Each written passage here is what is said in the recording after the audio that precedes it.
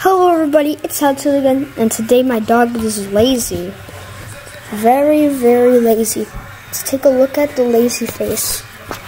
Lazy. Lazy. Are you lazy? Who's that?